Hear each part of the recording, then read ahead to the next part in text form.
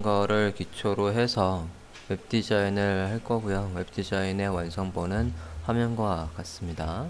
그래서 헤더에는 슬라이더에는 컨텐트에는 그리고 부터에는 저런 내용이 있다 라고 되어 있고 content 안에는 또 내용별로 위에서부터 service realization latest product project 해서 이렇게 구분이 잘 되어 있고 얘는 grid 시스템을 쓰고 있습니다.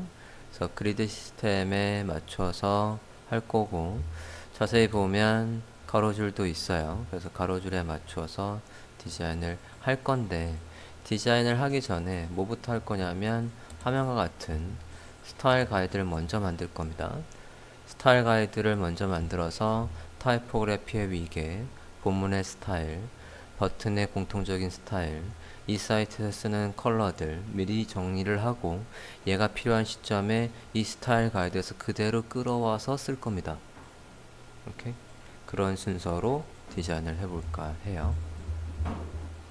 자, 다운받으신 거 안에 보면 어, 소스라는 폴더 안에는 쓸 이미지들이 쭉 있고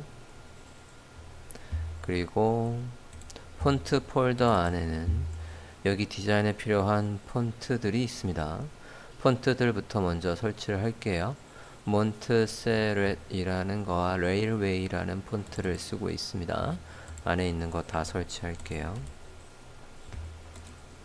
몬세렛이라는 폰트 설치하고 레일웨이도 설치하겠습니다. 자, 스타일 가이드는 어, 그리드 시스템을 아까 쓴다라고 했어요. 그리드 시스템을 뭘 쓸 거냐면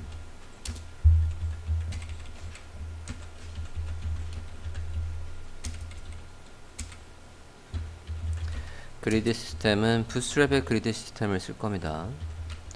근데 부스트랩에서 그리드를 다운받냐? 그러진 않을 거고요. 어, 우리가 직접 만들 겁니다. 어, 부스트랩이 버전이 버전 3이 있고 버전 4가 있어요. 버전 3이 약간 크고 1170의 너비를 가지고 있고 버전 4가 1140의 크기를 가지고 있어요. 얘, 얘의 실제 본문의 크기는 1140에다가 플러스 양옆에 패딩이 30이 붙어서 1170이 되는 시스템이고 얘 같은 경우에 1110에다가 양옆에 패딩이 붙어서 1140이 되는 시스템입니다. 그래서 그리드를 뭐에 맞출 거냐면 본문의 크기를 요거에 맞출 겁니다. 1110에 맞출 거예요. 그래서 포토샵에서 문서를 만들고 가이드를 조고에 맞춰서 어, 만든 다음에 그리드 세팅을 먼저 하고 그 다음에 그 위에 타이포그래피 버튼 뭐 폼 뭐 그런 스타일 공통으로 미리 설계를 해볼까 합니다. 자 그래서 포토샵을 열고 캔버스 사이즈는 뭐 클 필요가 없습니다. 그냥 1400 정도만 잡아도 상관이 없겠어요. 높이는 높이도 그렇게 클 필요는 없지만 한 2000 정도로 잡아 볼게요. 한 다음에 없애는 걸로 모자르면 자르는 걸 아, 늘리거나 넘치면 자르는 걸로 하겠습니다. 72 dpi로 해서 새 문서를 만들어 볼까요?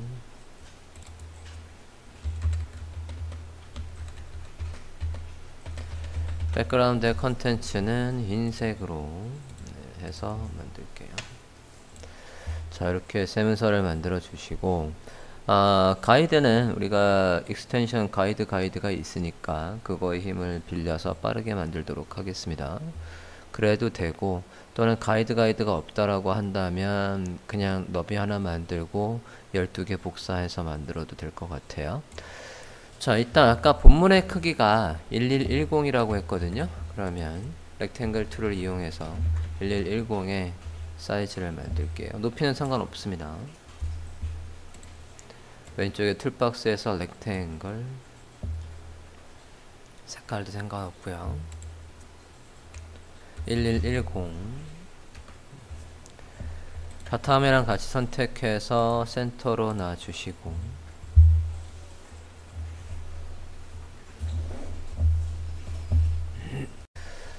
지금 만든 렉탱글을 선택을 한 다음에 가이드를 뽑으실게요. 이렇게 드래그해서 가이드를 착 달라붙게끔 뽑아 주십니다. 가이드가 만들어졌으면 선택영역을 그 가이드에 맞춰서 뽑아 주십니다. 선택영역을 만들어 주셨으면 extension GuideGuide에 가서 12개의 column count를 만들게요. column 하나의 너비는 column 하나의 너비는 65입니다. 그러고 make grid 하시면 되겠어요. 아, 간격을 안 넣었다. 다시 간격은 30.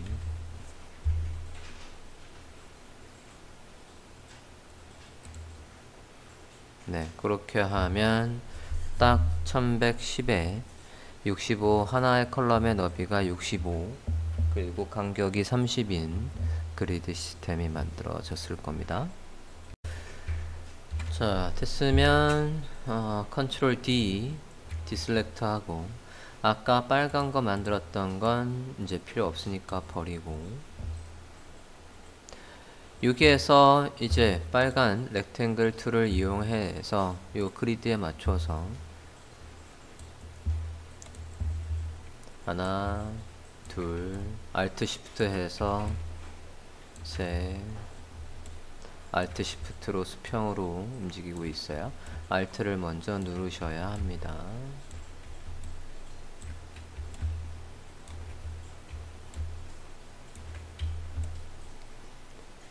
자 이렇게 해서 12개의 column을 만들어 주십니다. 자, 다 만들어 주셨으면 shape를 합쳐 볼게요. 다 선택하시고 마우스 우클릭, merge shape. 이름은 12column. 전체가 1110이다. 뭐 이렇게 해놔도 되겠고. merge shape에서 하나로 합치고 이름은 12column의 전체 너비가 1110이다 라고 해서 만들어 놨습니다.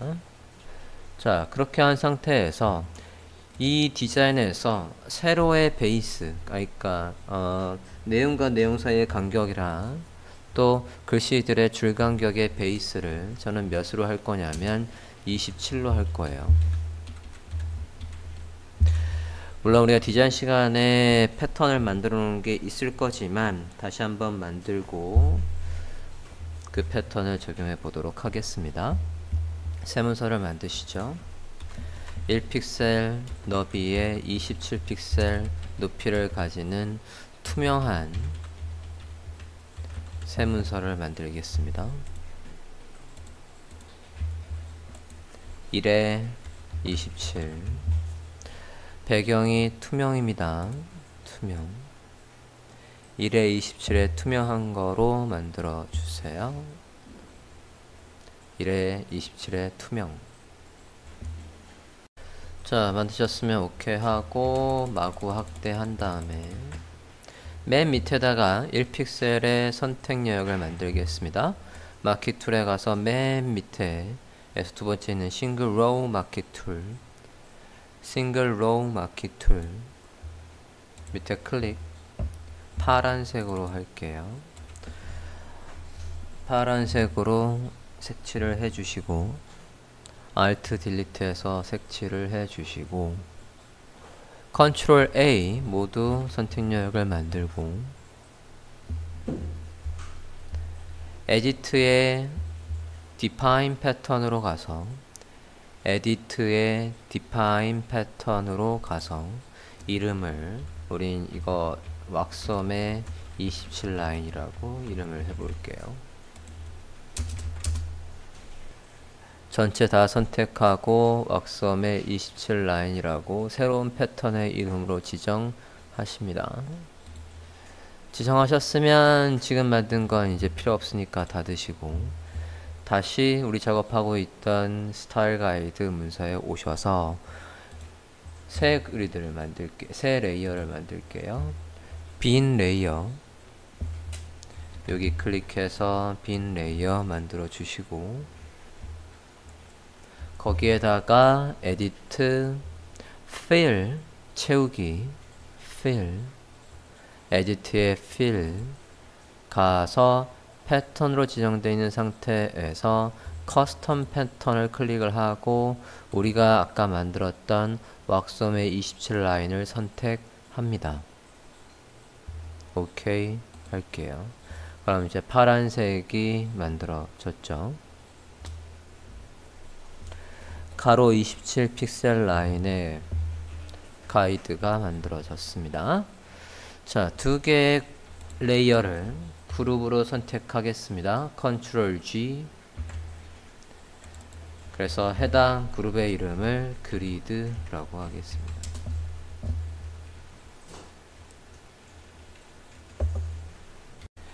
키보드 그룹에서 그룹에서 그룹이 있는 상태에서 아까는 100%였었어요.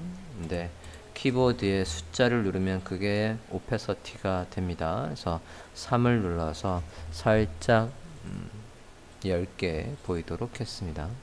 이렇게 그리드가 선택된 상태에서 이제 젤을 베이스로 스타일 가이드도 만들려고 합니다. 스타일 가이드는 아까 크게 타이포그래피. 제목의 위계를 정리할 거고.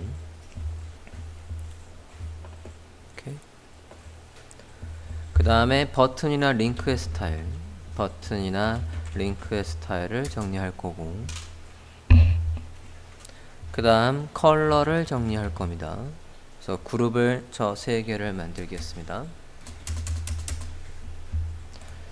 포토샵에서 그룹 3개를 만들어 주시고 그룹의 이름 typography button and links 그리고 colors 만드실게요. 그리드는 최상위에다가 올려주시고 그룹의 모양새는 이렇습니다. 자 이제 저장 좀 할까요? 스타일 가이드 스타일 가이드 psd로 아까 샘플 받은 거 폴더 안에다가 저장하실게요.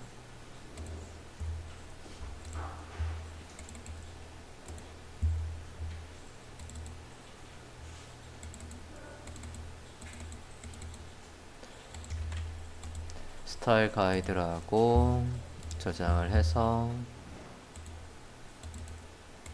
이렇게 지금 만든 스타일 가이드가 아까 다운받으신 거 안에 있도록 해주세요.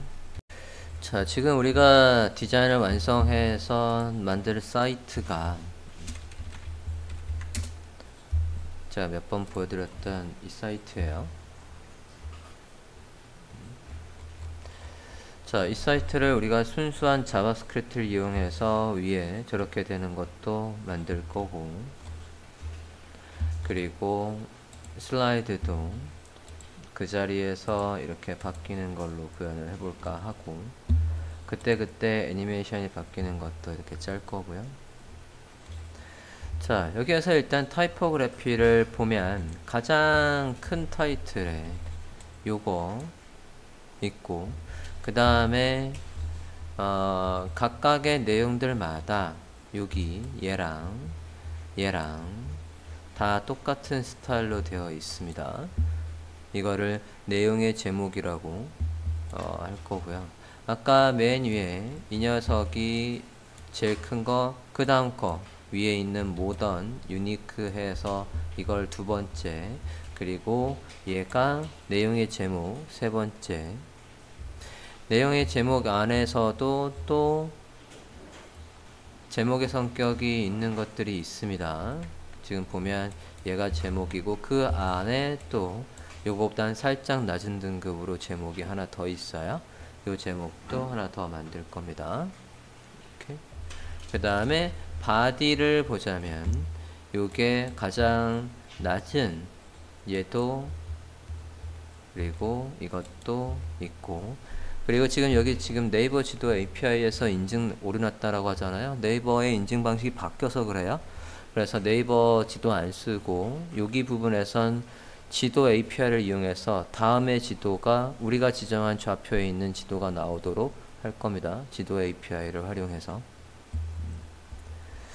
자, 그래서 제목의 위계가 크게 4개 정도 잡아보도록 하겠습니다.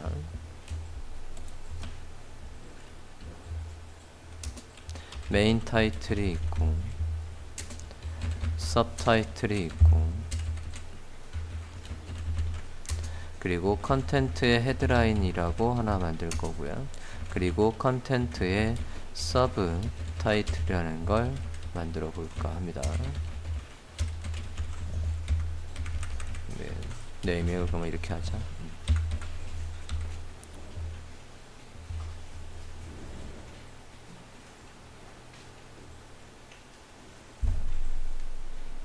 적어 드리면 우리가 아까 폰트 설치했죠? 얘가 Raleway에 제일 두꺼운 거 Extra Bold라고 할게요. 52 픽셀로 할 거고 그리고 얘는 Raleway에 Medium에 36 픽셀로 할 겁니다. 얘는 Raleway에 Semi Bold로 30 픽셀 할 거고요. 얘는 Raleway에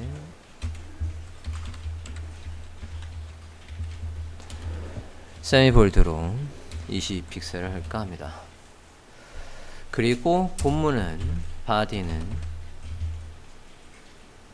Montserrat에 16 픽셀을 쓸 겁니다. 몬트셀에서 라이트를 쓸 거예요. 자, 지금 이 폰트의 위계를 잘 보시면 저 폰트의 위계를 만약에 그래프로 그려본다라고 하면 지금 이렇게 16픽셀에서 이렇게 올라가는 게 아니라 제가 일전에 한번 말씀을 드린 적이 있죠. 얘가 이런 곡선을 그리는 게 낫다라고 했어요.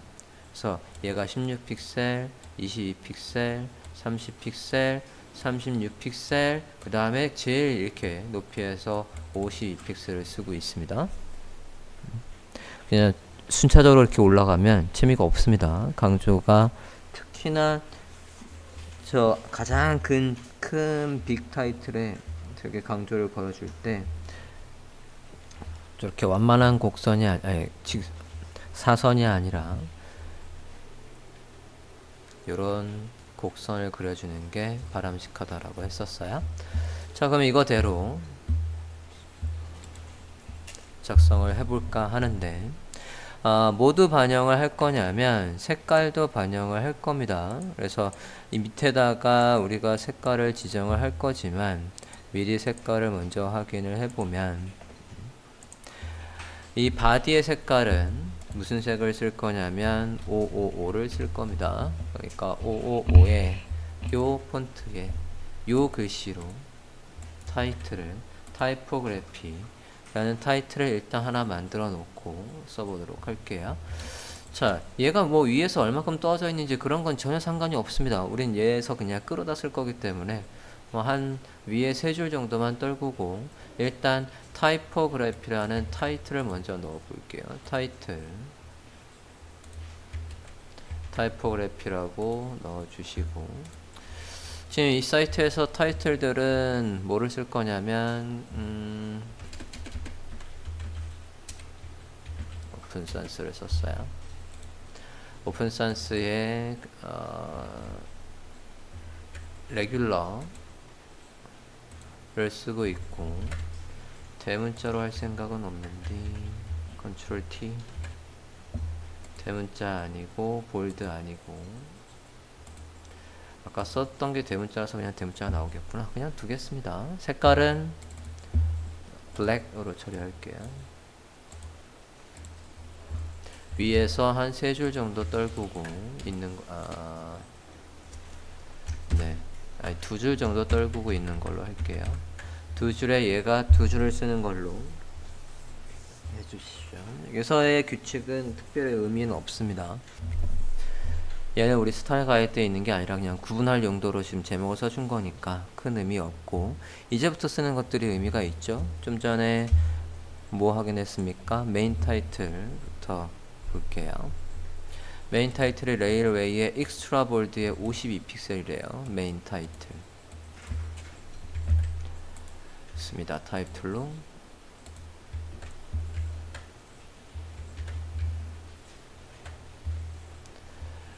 메인 타이틀에서 메인 타이틀 폰트가 뭐라죠? 레일웨이 52픽셀 입력을 합니다.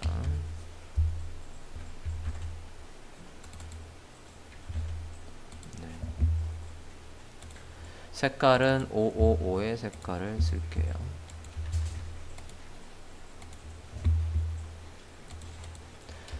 좀 전에 타이틀에서 두 줄 정도 떨구고 두 줄의 높이 정도를 쓰는 걸로 하겠습니다.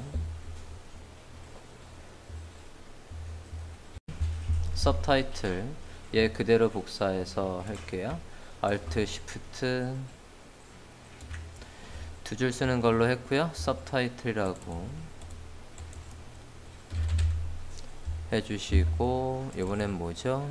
미디엄의 32픽셀 미디엄의 32픽셀 하겠습니다.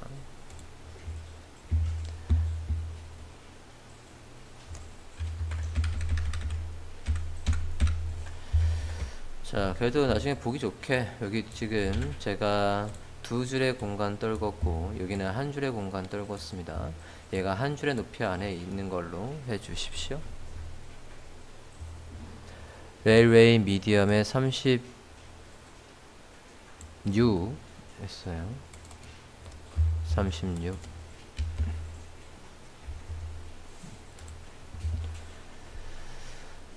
다음 거도 마저 하지요. 그대로 복사해서 content 헤드 타이틀이라고 해서 content의 헤드 타이틀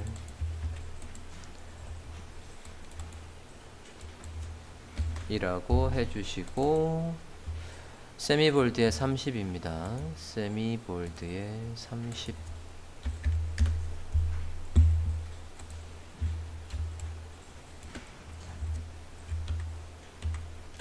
and 지금 메모장에 써놔드렸으니까 그거대로 다 넣어주십시오. 컨텐트의 서브타이틀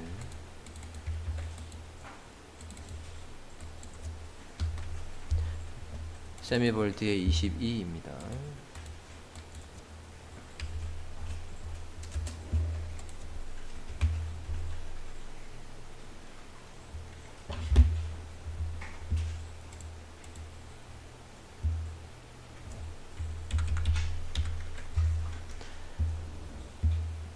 됐습니까? 자, 얘들이 뭐 H1, H2, H3, H4 그런 느낌이 아니라 우리가 이제 나중에 클래스명으로 얘들을 정리를 할 거예요. 이게 만들어지면 이걸 바탕으로 우리가 디자인을 할 거고 얘를 다 디자인한 다음에는 여기 있는 걸 먼저 코딩을 합니다. 여기 있는 걸 코딩을 할 때 지금 어, 써놨던 저 메인 타이틀, 서브 타이틀, content 이런 것들이 클래스 이름으로 들어오게끔 미리 다 설계를 할 거예요. 자, 그 다음에 이제 body 볼까요? 자, body는 dummy text를 넣고 걔가 Montserrat의 light의 light의 16픽셀이랍니다. 포토샵의 dummy text를 그냥 활용하겠습니다. type tool로 드래그해서 한 6, 6 여섯 column 정도 에, 너비 쓰는 걸로 할게요. 아, 일곱 column 정도 그렸네요. 더 그래도 되겠다. 여덟 column 정도의 대략 저는 한 250 정도의 높이를 가지는 거에다가 넣어볼까 합니다. 8column 정도의 높이는 250 정도 높이는 뭐 똑같지 않아도 담, 상관없습니다. type에 가서 paste lorem ipsum 하실게요. type tool로 text area를 만들어 줬고 거기에서 type에 paste lorem ipsum 해서 넣어 주시고 얘가 Montserrat의 light의 16의 행의 높이는 27 Mont light 16 픽셀 paragraph에 가서 행의 높이는 27 자간 없고요 Montserrat light 16의 행의 높이 line height 27픽셀 자간 없고 있나요? 조금 확대해서 지금 얘가 요 라인에 딱 맞을 거예요 이동 tool 선택을 한 상태에서 요 라인 27 라인에 글씨가 센터에 있게끔 해 주십니다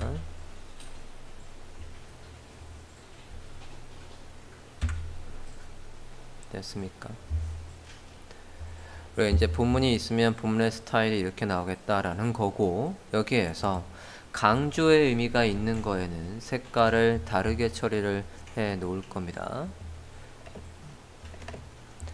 강조의 색깔은 드릴게요. 우리가 텍스트의 컬러가 저 컬러였고 강조의 컬러는 이 컬러로 하겠습니다. 아, 누구를 강조할까? 그냥 맨 앞에 포토샵 버전이라는 부분을 강조를 해볼게요. 잠깐 grid 좀 끄고 여기 포토샵의 버전이 강조의 의미다 라고 생각을 하고 얘 컬러를 화면에 적어둔 저 컬러로 지정을 하실게요. 네. 그리고 링크가 있다면 밑에 그냥 바로 하겠습니다.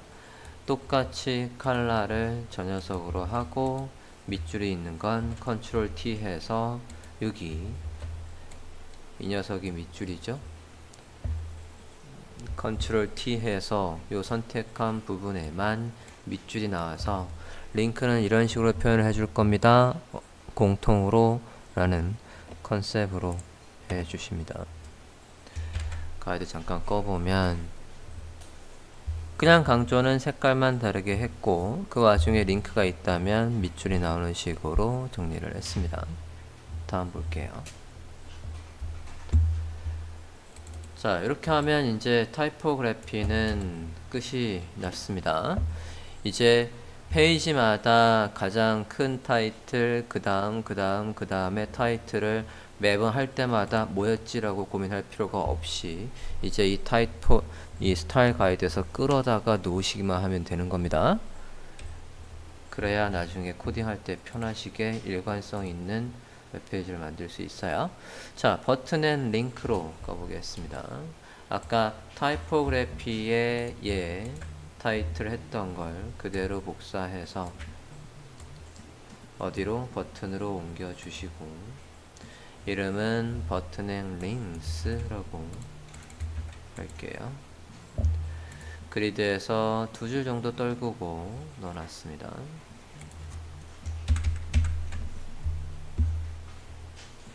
버튼의 링크의 타이틀은 이 그룹 안으로 들어와 있는 상태입니다. 자, 여기에서 이제 여러분이 공통으로 스타일을 잡아야 될 게 어느 부분이냐면 완성된 페이지를 보고 설명을 다시 한번 해보도록 하겠습니다.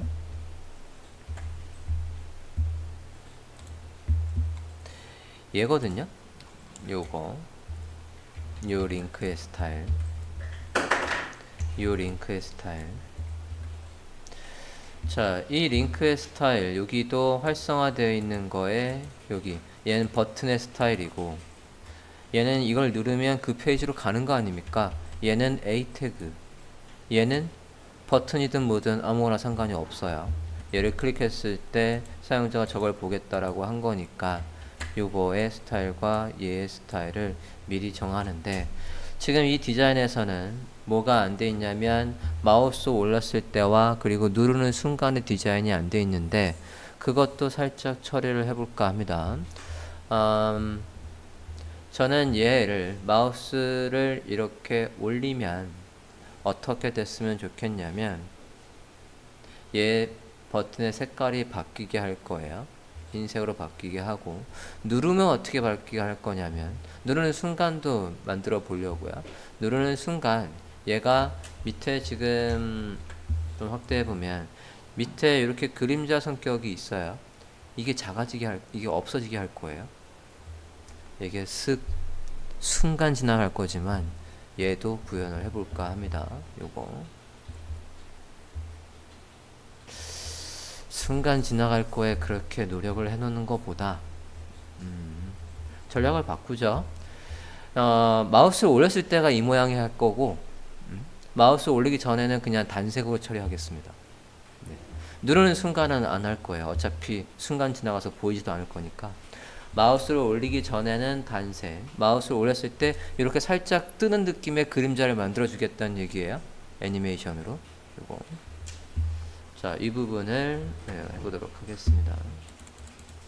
자, 그러면 우리가 여기 버튼에다가 뭐라고 타이틀을 달아 놓을 거냐면 이것도 디자인할 때 미리 다 설계를 하시는 거예요. 마우스를 올리기 전에 normal 상태의 스타일이 있어야 되는 거고 그리고 마우스를 올렸을 때 hover state 마우스 올렸을 때 디자인도 미리 해놔야 합니다. 지금 여러분이 작성하시는 게 2차 프로젝트의 실기 과제에 있습니다. 자, 버튼의 스타일을 잡아보도록 할게요. 두 줄의 높이를 쓰는 걸로 할 거고 색깔 들어보겠습니다. 자, 높이는 두 줄이니까 5사겠죠? 우리가 27라인을 했고 너비는 뭐 크게 상관이 없습니다. 너비는 상관이 없고 글씨가 있으면 글씨 양옆의 공간을 글씨를 먼저 쓰고 하겠다는 얘기예요. 글씨를 기준으로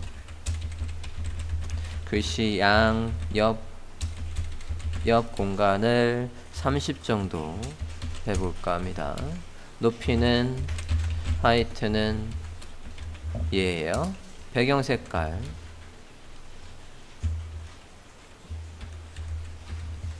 요 색깔을 쓸 겁니다.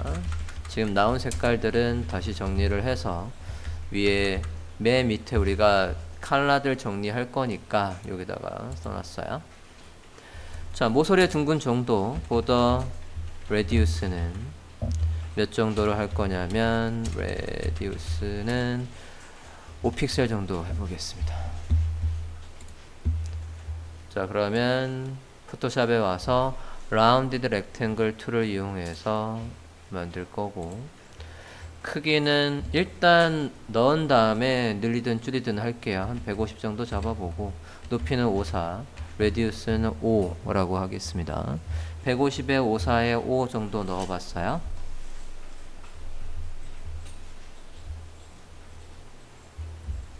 (150에 54에 5) 색깔 드렸죠? 요 색깔 앞에 썸네일 클릭해서 색깔 지정해 주시고 위치는 두 줄의 높이를 쓰는 거니까 이렇게 해 주시겠습니다. 아, 여기다 간단하게 normal이라고 타이틀을 넣을 거예요. Open Sans로 그냥 넣겠습니다. normal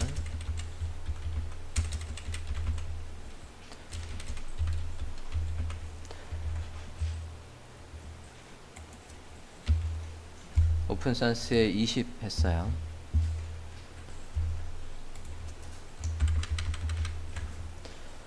뭐 이 정도로 자 저장할게요. 밑에 그림자나 안에 글씨는 좀 이따가 쓰도록 하겠습니다. 자 안에 글씨 볼게요. 그냥 get started라는 글씨를 써보겠습니다. 폰트는 레일웨이에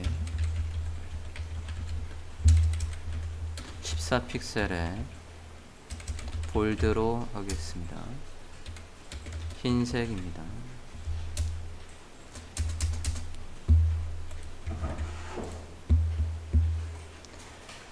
자, 지금 라운디드 렉탱글 얘가 선택이 되어 있는 상태에서 그냥 클릭하면 그 안에 글씨가 써지죠? 그게 아니라 Shift를 누른 상태에서 클릭해서 별도 레이어로 만들어지도록 하십니다.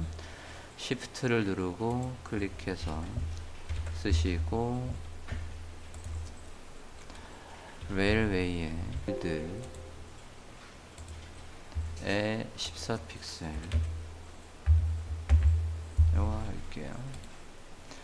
잠깐만요. 볼드가 영 마음에 안 드는데. 그리고 잠깐만요. 디자인에서 아, 얘는 다 쓰기만 하면 다 대문자로 나와야 되는 컨셉이네요. 그러면 대문자로 바꿀게요. 컨트롤 T 여기 TT 해서 대문자로 바꿔주세요. 자가는 없습니다. 흰색이에요.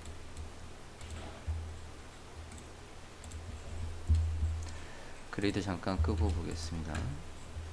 자, 일단은 밑에 사각형을 기준으로 했을 때 세로 기준으로는 센터에 있어야 되니까 정렬을 해 주시고 자, 얘가 뭐라고 했냐면 음, 글씨를 기준으로 했을 때 양옆의 공간이 30이 되게 하자라고 했어요. 그러면 일단 글씨를 왼쪽에 그대로 배치를 하고 글씨만 선택이 되어 있는 상태에서 Shift 한 번, 두 번, 세 번 했습니다. 그러면 오른쪽에 오른쪽에 이 부분 이 부분을 앵커 포인트로 잡아서 일단은 어느 라인에 이 라인에 붙여버리고 Shift 한 번, 두 번, 세 번 해서 오른쪽으로 움직이면 되겠죠? 그렇게 해볼게요. 밑에 사각형 선택을 여기 부분 선택 툴을 선택을 하시고 드래그 해서 제가 지금 이렇게 드래그 하고 있어요. 드래그 해서 오른쪽에 네 귀퉁이에 앵커 포인트를 잡으시고 글씨에 이렇게 딱 붙인 상태에서 Shift 한 번, 두 번, 세 번 하면 Shift 한 번, 두 번, 세 번 하면 정확하게 30픽셀 떨어져 있는 걸 만드실 수 있겠죠? 부분 선택 툴로 선택 영역 부분 선택 툴로 선택 영역을 드래그 이렇게 해서 선택을 하시고 간격 30픽셀을 떨궈 주세요. 됐나요?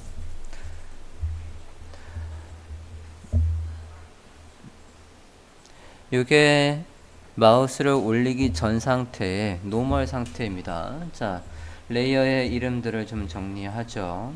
지금 이 그대로 복사할 거니까 여기 Round Rectangle 이게 btn의 bg라고 해주시고 지금 거랑 같이 글씨랑 같이 선택을 하신 다음에 Control G 해서 그룹으로 지정을 하실게요. 그룹으로 지정을 하고 얘게 얘가 btn의 normal입니다. 아 오른쪽 타이틀까지도 한꺼번에 묶을 거니까 normal 타이틀도 가져오시죠. 그러면 노멀의 btn이라고 해서 이렇게 그룹의 이름을 정하시죠. 노멀의 btn이라는 그룹 안에 타이틀이 있고 Get Started 글씨 그 다음에 밑에 사각형 있게 해주십니다. 이걸 그대로 세트로 복사해서 오른쪽에다 하나 더 만들 거니까 이렇게 그룹으로 잘 정리가 되어 있어야죠. 자, 그룹 안에 이렇게 세 개 다 넣어 주셨습니까? 그룹 안에 세 개 다 넣어 주셨으면 넣어 주셨으면 복사해서 자, 노멀의 btn이라는 걸 복사해서 그 옆으로 하나 더 만들 거예요. 마우스를 올렸을 때의 모양을 만들어 보도록 하겠습니다.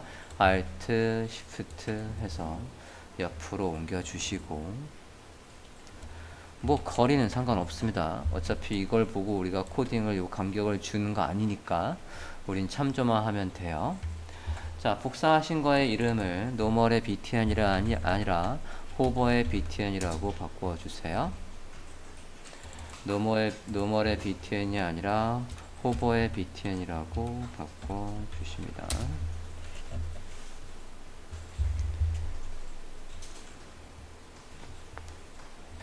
바꿔 주셨으면 아래쪽에 저렇게 나오는 거 어떻게 만들 수 있냐면 이너 섀도우를 쓸 겁니다. 이너 섀도우를 써서 만들어 보도록 할게요. 자, hover btn에서 작업을 하겠습니다. hover btn을 열고 여기 btn의 bg 이 녀석한테다가 예 선택이 되어 있는 상태에서 레이어의 fx에 와서 요 선택이 되어 있는 상태인가요? 레이어의 fx에 와서 inner inner shadow를 선택을 합니다. inner shadow 자 방향 지정할게요. 방향은 아래 방향이니까 마이너스 90도로 해주시고 distance 3 됐나요? distance 3 그 다음에 사이즈 퍼짐 효과 없으니까 0 이라고 해주시고 됐어요? 그 다음에 검은색에 40 50 40%로 해볼게요. 검은색에 40%로 해주시면 지금 이 색깔 위에 검은색이 덧대지고 그 검은색의 오페서티가 40이란 얘기예요. 그러면 자연스럽게 이 색깔보다 짙은 색깔이 만들어지는 겁니다. 다시 한번 볼게요. multiply로 되어 있고 검은색에 40%에 아래쪽에 90도에 3 distance 3 그리고 blur 효과 없어요. 요게 마우스를 올렸을 때의 모양입니다. 이렇게 돼 있다가 마우스를 올리면 슥 해서 얘가 나타나는 컨셉으로 할 거예요. 그래서 CSS에 가서 작성하면 되니까 이렇게 하는 걸로 하겠습니다. 자, 노멀의가 아니라 네, 이름을 바꿔야지. 호버, 호버. 이렇게 해서 이름 호버라고 바꿔 주시고. 자, 이게 지금 링크의 스타일이고요. 버튼의 스타일은 아까 제가 필터링 했던 버튼의 스타일 여기 아까 나 이거 볼래 이거 볼래 하고 했던 이 버튼의 스타일이 있어요. 얘도 만들겠습니다. 자, 이거는 지금 보면 마우스를 올리기 전에는 그러니까 특별히 효과도 없고 마우스 올렸을 때도 효과도 없어요. 대신 활성화되어 있을 때의 효과가 있습니다. 얘가 체크되어 있을 때. 그래서 기본적으로는 테두리만 있고 안에 글씨가 있는 상태에서 얘가 체크가 돼서 액티브가 되면 요 모양이다 라고 해서 얘 스타일을 잡아보도록 하겠습니다. 일단 포토샵에 와서 그리드 잠깐만 켜볼게요. 얘는 이제 두 줄보다는 작아요. 그래서 높이를 드리겠습니다. 그대로 복사해서 쓸 거고요. radius는 그대로 유지되는 거니까 그대로 쓰되 높이만 높이만 32픽셀로 줄이겠습니다. 높이는 32픽셀로 줄이고 안에 글씨의 스타일은 세 14픽셀 Light로 할 거예요. 자, 요 세트. 지금 좀 전에 노멀과 호버했던 이 세트를 그대로 요 세트 그대로 다 선택을 하신 상태에서 그대로 잠깐만.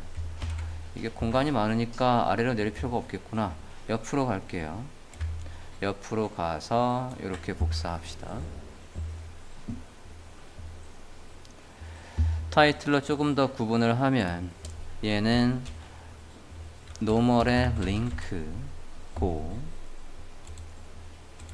얘는 hover이고 지금 복사한 건 normal의 버튼이고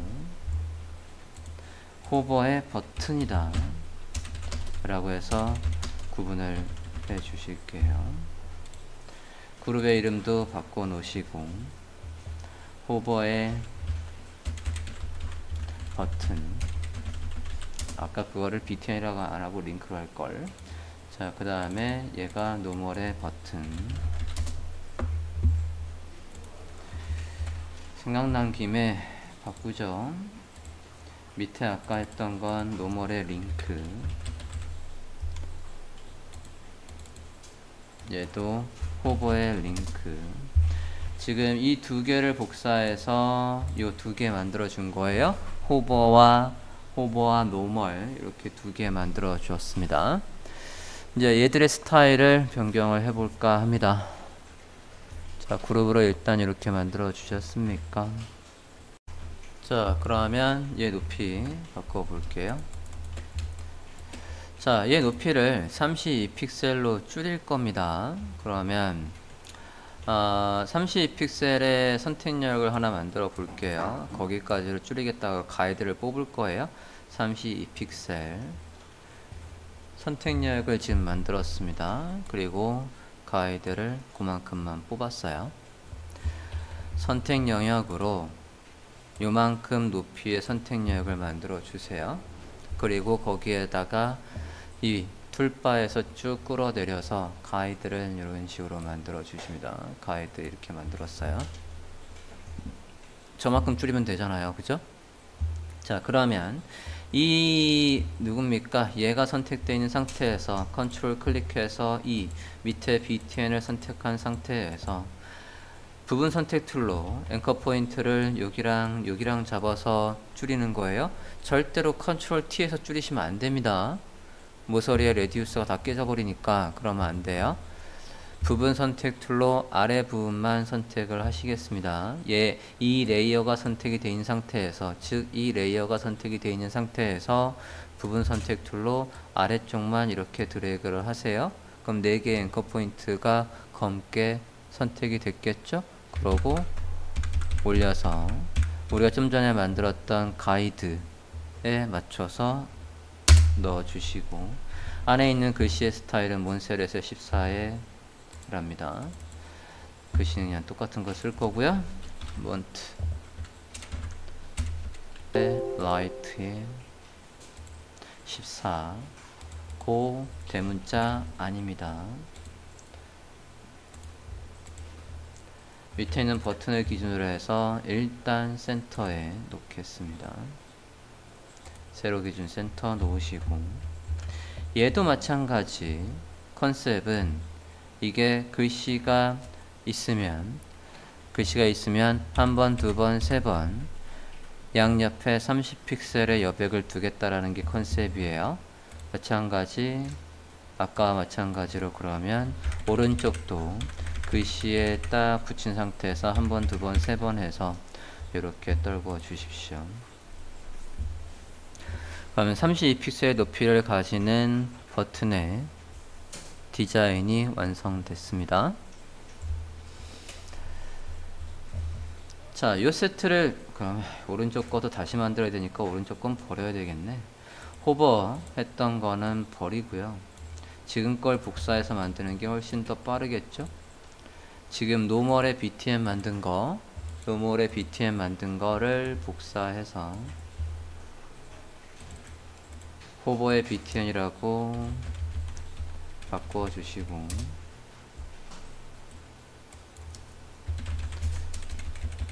hover의 BTN이라고 바꿔주시고. 자 이게 마우스 이게 아, hover가 아니지. 얘가 active죠. 활성화 됐을 때 active 이름을 active로 바꿀게요. 자 얘가 클릭을 해서 체크가 돼서 얘가 활성화되어 있는 거라는 거의 스타일이고 왼쪽에 있는 건 마우스를 올리기 전에는 얘가 테두리만 나온다라고 했어요. 오케이. 마우스를 올리기 전에는 얘가 테두리만 나온답니다.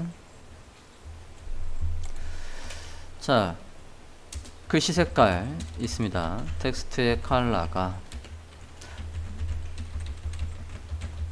얘구요. 그 다음에 테두리는 보더는 옅은 회색인 얘를 쓰겠습니다. 자, 1픽셀의 border를 줄 거예요. 자, 얘, 요 지금 색깔이 있지 않습니까? 요거 선택을 한 상태에서 얘 layer 선택을 하셨습니까? 얘 fill 값을 제로로 이 layer 선택하고 얘의 무슨 값을 제로로 fill 값을 제로로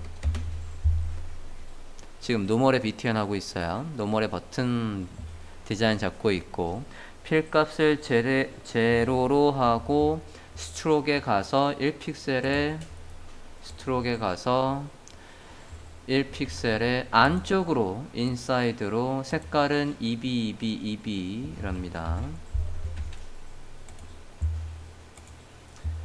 안쪽으로 색깔을 넣어 주시고 안에 있는 글씨 색깔 드렸어요. 글씨 색깔 바꾸어 주세요.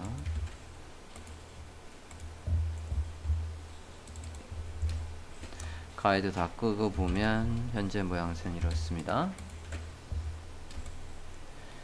자 이게 마우스를 올리기 전 아니지 어, 그냥 normal 상태의 버튼이고 클릭을 해서 체크가 돼서 그 녀석이 활성화되어 있을 땐 오른쪽처럼 보이게 하겠다는 겁니다. 이렇게 해서 보면 링크와 버튼의 스타일을 잡아 주었습니다. 됐나요? 마우스를 올리기 전 올렸을 때 normal active 해서 잘 구현이 됐고 다음 이 사이트에서 컬러를 어떤 걸 쓰는지 미리 설계를 해볼까 합니다. 자, 이 사이트의 컬러는 제가 컬러가 기본적으로 웹사이트의 컬러의 구성은 배경색이 있고 글씨 색깔이 있고 그 다음에 하이라이트가 있다라고 했어요. 그거에 맞추어서 똑같이 만들어 볼까 합니다. 자, 배경 색깔이 지금 일단은 이 사이트에는 컬러가 하이라이트 컬러가 두 개 있고요. 글씨의 컬러도 두 개가 있어요. 배경색도 두 개가 있습니다. 크게.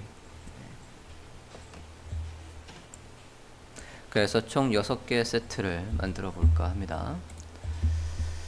어, 버튼 예 그대로 복사해서 하나 더 만들 때 컬러 쪽으로 옮기고 이름도 컬러스라고 바꿀게요.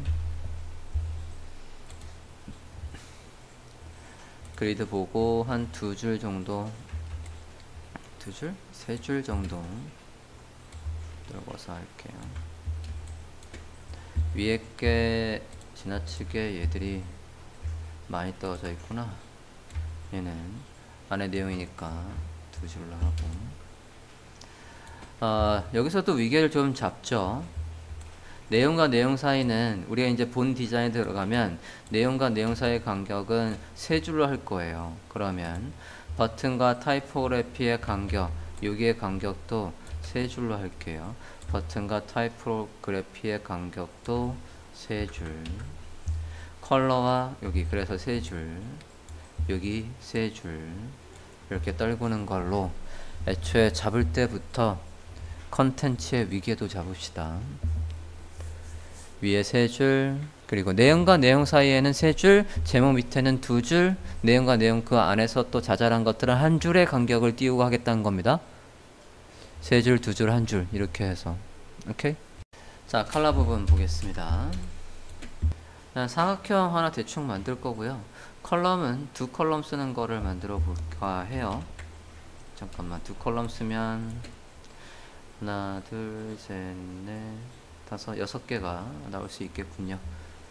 자, 두 column 쓰는 거, radius는 뭐 위에서 잡은 거 그대로 쓸 거고요.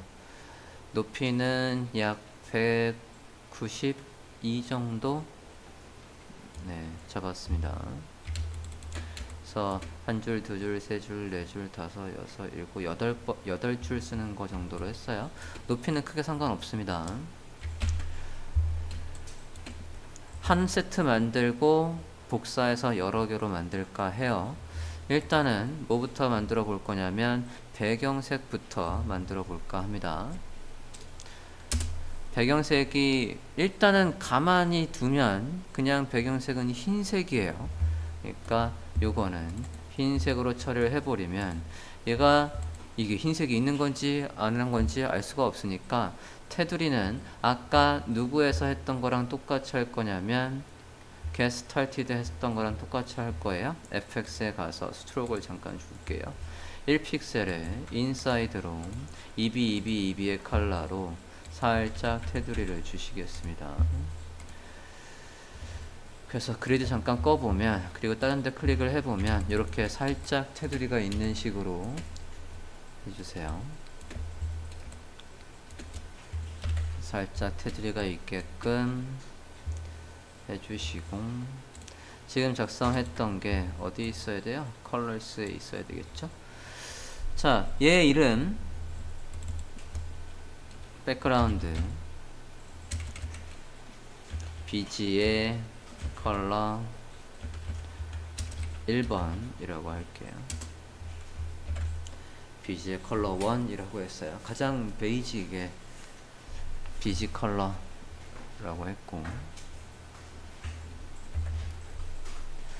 안에다가 얘가 뭔지 설명을 해주는 게 좋습니다. 여기다가 얘가 기본 백그라운드의 컬러다. 그래서 음, 우리가 아까 누구 정도가 좋을까? Raleway의 14 bold 정도로 해볼게요. 일단 백그라운드에 백그라운드의 컬러라고 해줬고 Raleway의 bold의 14픽셀 대문자는 대문 굳이 대문자일 필요는 없는데 소문자로 칠게요. 백그라운드 컬러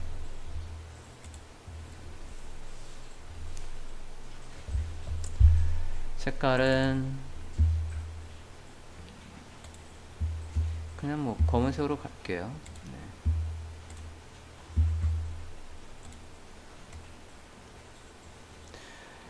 대충 그리드 보면 위에 아래에서 세 줄 정도 위치에다가 잡을게요. 그대로 복사해서 당연히 흰색이니까 RGB 컬러 또 넣어 놓으면 RGB 이런 식으로 넣어주고 헥사 코드도 넣어주면 좋겠습니다.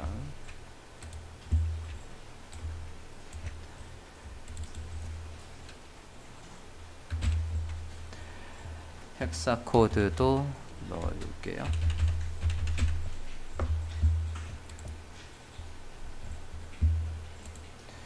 한 줄씩 나오게 할 건데 굳이 분리를 했네. 그냥 안에 패러그래프로 해도 됐을 걸. 이미 썼으니. 그리고 밑에 두 줄은 볼드로 처리를 안 할게요. bold가 아니라 medium으로 바꾸겠습니다.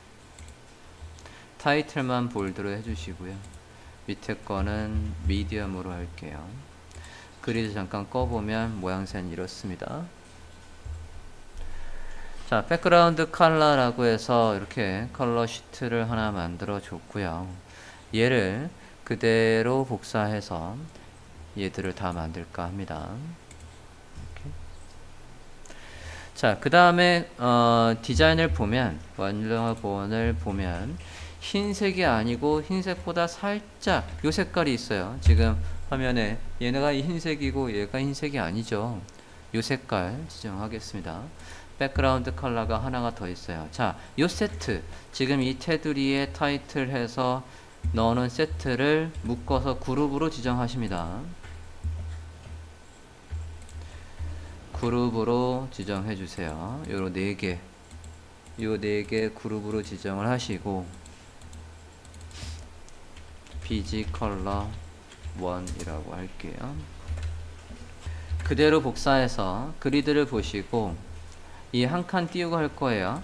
그리드를 보시고 여기 이 한 컬럼 띄우고 오른쪽에 복사해 주십시오. 그리드로 봤을 때 그리드 한 칸 띄우고 오른쪽에 다 만들어 줬어요. 이름은 content의 BG라는 걸로 하겠습니다. 컨텐트의 BG 컬러는 이고요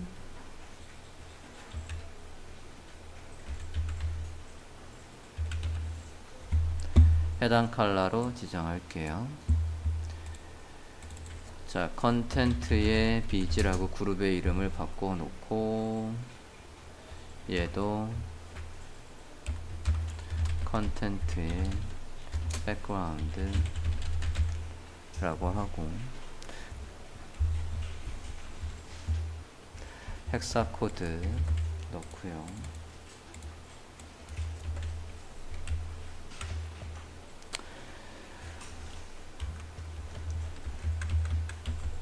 나중에 복사해서 쓰기 편하게 콤마를 넣어줬습니다. 그 다음에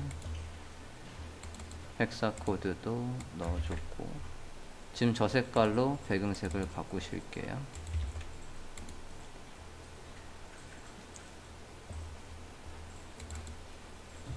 F8, FB, F로 바꿔주시고 스트로크는 없습니다.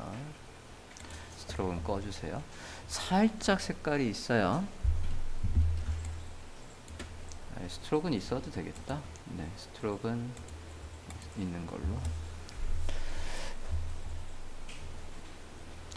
자, content의 백그라운드 이렇게 지정을 하고 자, 그 다음에 이제 글씨의 색깔 지정을 할게요. 타이포그래피의 컬러가 타이포그래피의 기본 컬러가 있고 그 다음에 어, 타이틀의 컬러가 있어요. 색깔을 지정해 보도록 하겠습니다. 네, 기본 컬러는 아까 가장 짙은 색깔이 555의 컬러였고요. 얘가 얘가 타이틀의 컬러였고 그리고 이거보다 조금 옅은 색이 뭐가 있었냐면 우리가 얘를 썼어요. 그죠? 얘가 기본 타이포그래피의 텍스트의 컬러라고 할게요. 저 두 개 지정하겠습니다. 자, 지금 세트 content BG라는 걸 그대로 카피를 해서 오른쪽으로 또 하나 만들게요. 그리드 보시고 그리드 옆칸에 만들어 주시고 얘부터 할게요. 색깔 지정해 주십니다. 그 컬러로 hexa 코드 바꿔 주시고 타이틀은 텍스트의 컬러랍니다. 텍스트의 컬러라고 해주시고 글씨들이 잘 안 보이죠? 글씨들은 다 흰색으로 바꿀게요. 그냥 세 개 다 묶어서 color over를 해도 되지만 그냥 이렇게 흰색으로 바꾸겠습니다. 자, 텍스트의 컬러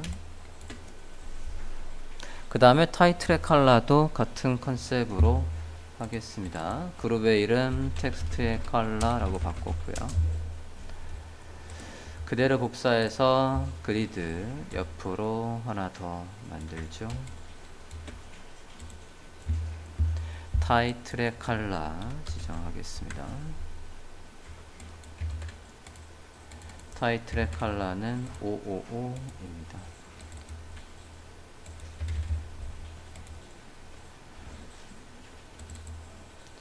858585의 컬러를 가지고 있네요. RGB는 85885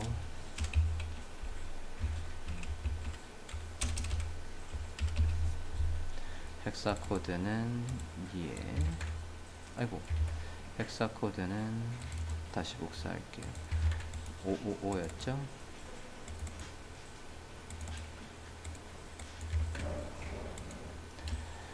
옆에 거에 hexa 코드 안 바꿔놓은 것 같은데. RGB가 얘는 140, 140, 140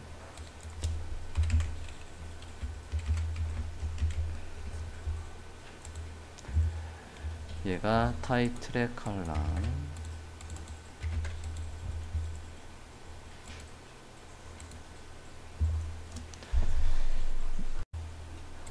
자 화면을 보면 지금 이렇게 4개 했고 그 다음에 하이라이트 컬러 지정하겠습니다 타이틀의 컬러를 그대로 또 복사해서 그리드 옆에 이렇게 만들고 자, 아까 이 색깔 두 개 있었어요.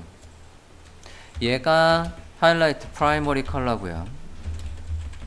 얘가 두 컬러입니다. secondary 컬러예요. 제로 지정을 하시겠습니다. primary 컬러 secondary 컬러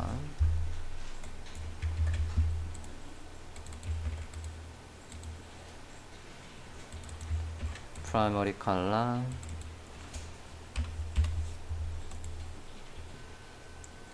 해당 컬러의 RGB 값 확인해서 넣어주시고 153, 134, 117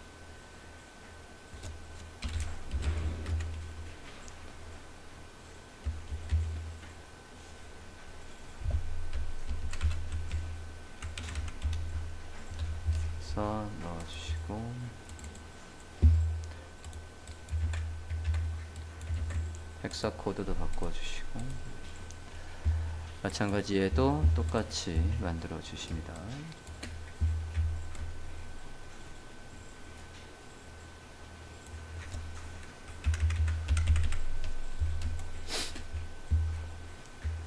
secondary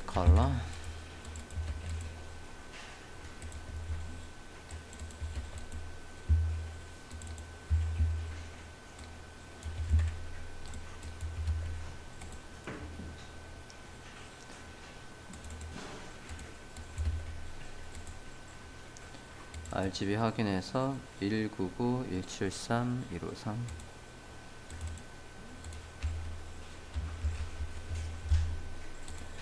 해서 지정을 모두 해 주십니다. 자, 이제 전체적인 화면으로 보면 이런 식으로 우리가 디자인에 필요한 공통 요소들의 스타일을 모두 잡아 주었습니다. 그리드 기반으로 해서 이렇게 잡아 주셨고 여러분도 디자인을 하실 때 얘처럼 얘처럼 스타일 가이드를 먼저 만들고 시작을 해 주세요. 자, 저장했습니다.